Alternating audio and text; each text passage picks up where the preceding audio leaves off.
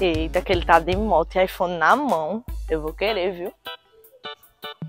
E aí, bebê, como é que faz pra gente dar um rolê? Uma morena em Iguatu, nós vai é pra onde você quiser.